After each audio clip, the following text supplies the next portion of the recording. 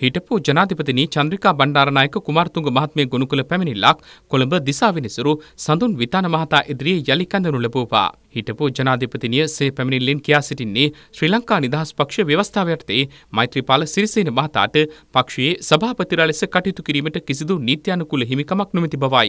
ඒ අනුව ඒ මහතා අදාළ තනතුරේ කටයුතු කිරීම වළක්වාලමින් වාර්ණ නියෝගයක් නිකුත් කරන ලෙස ඉල්ලා මෙම පැමිණිල්ල ඉදිරිපත් කර තිබුණා.